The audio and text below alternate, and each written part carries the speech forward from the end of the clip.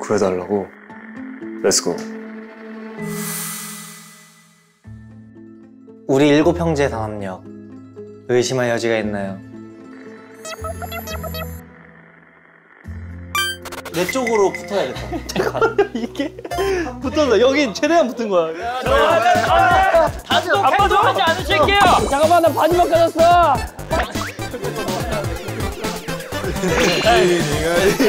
야 제이크 왜 여기 있냐?